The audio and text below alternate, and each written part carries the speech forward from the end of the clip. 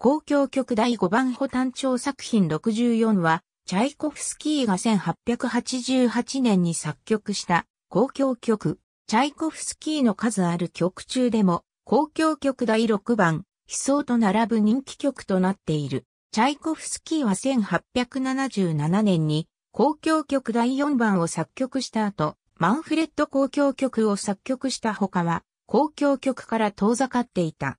疲労や曲奏の枯渇感があったようである。しかし、1886年にヨーロッパに演奏旅行し、当地で好評を得たことや、マーラーやリヒャルト・シュトラウス、クリーグラ作曲家との交流が刺激となり、意欲を取り戻したと言われる。作曲者48歳、1888年の5月から8月にかけて作曲された。同年11月、作曲者自身の指揮により、サンクトペテルブルクで初演された。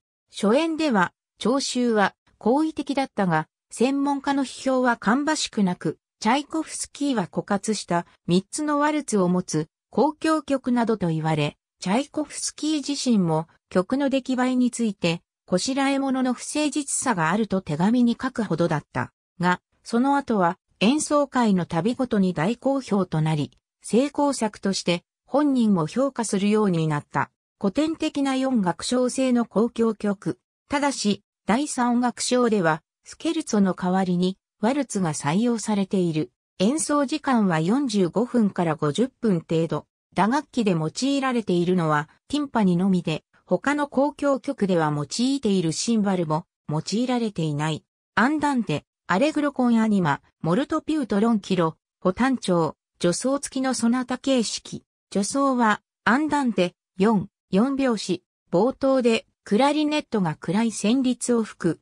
この主題は、運命主題。その冒頭の動機は、運命動機とも言われており、各楽章に現れて、全曲の統一感を生んでいる。主部は、アレグロコンアニマ、6、8拍子。弦の更新曲調のリズムに乗って、クラリネットとファゴットによって第一主題が提示される。ロタン調の推移主題の後、バイオリンにより二長調で第二主題が示される。ロタン調の主題の方を第二主題とする見解もある。展開部は、主に第一主題を扱いクライマックスを形作る。再現部は、第一主題、第二主題の両方が再現されるが、そのプロセスは短縮されている。その後、第一主題によるコーダとなり、盛り上がった後、徐々に速度が落ちて、動きを止めるように、低音源楽器のフェルマータで暗く重い結末となる。演奏時間は13分半から18分程度。アンダンテカンタービレ、コンアルクナリーチンツェ、モデラートコンアニマ、アンダンテモッソ、アレグロノントロッポテンポアイに長調、三部形式、短い弦の助走の後で提示される。第一主題は、ホルンの美しい調べが印象的である。次に、オーボエで第二主題の断片が提示されるが、直ちに再び第一主題の登場となる。今度は、弦が主役を担当しホルンは補強に回っている。曲が活発に動き出すと間もなく、弦で第二主題が再登場する。ここでは第二主題が繰り返されクライマックスを築く。中間部に入ると、クラリネットで単調の新たな旋律が現れ、大きく盛り上がると1回目の運命主題の回帰がある。ピッチカートによる短い経過部の後、第一主題が弦で再現される。やがて第一主題の後半部分を利用して、緊迫感を増すと、テンポが落ちて、第二主題が演奏されて、第二楽章のクライマックスが築かれる。コーダに入る前に、突然、トゥッティで、運命動機が競争される。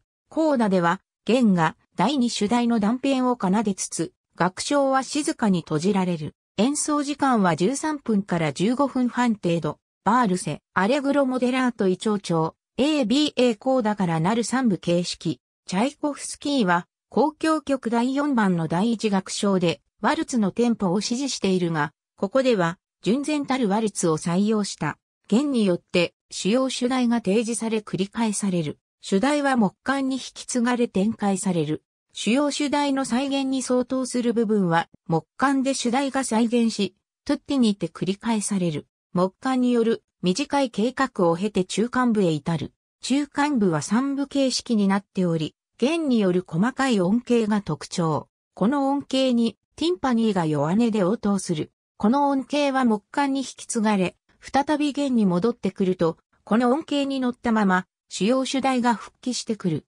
主要主題は定時と展開の部分はそのまま再現するが、その後は変形され、トゥッティで力強く演奏される。運命動機はコーダ後半で、クラリネットとファゴットに静かに現れる。演奏時間は5分から7分程度。フィナーレ、 Andante maestoso、Allegro vivace、Molto vivace、Moderato assai、e molto maestoso。Presto ホ長調、ホ短調、ホ長調、序奏付きのソナタ形式。序奏は運命動機に基づく。主部はティンパニの連打に導かれ、第一主題は華やかで民族的な香りもある。第二主題は木管により穏やかながら、やはり更新曲調。コデッタではまた運命動機が扱われる。展開部は弦が第一主題のリズムを刻み、その上に第二主題が変装される。徐々にスピードが落ちたところで、いきなり再現部となり劇的に盛り上がり、全球詞を挟んで、勝利感に満ちたコーダへなだれ込んでいく。コーダは補聴長の力強い助走から、運命動機が高らかに操され、6、4拍子に変化した第一楽章の第一主題を、ホルンとトランペットが豪快に掛け合って、全曲を締めくくる。演奏時間は11分から15分半程度。ありがとうございます。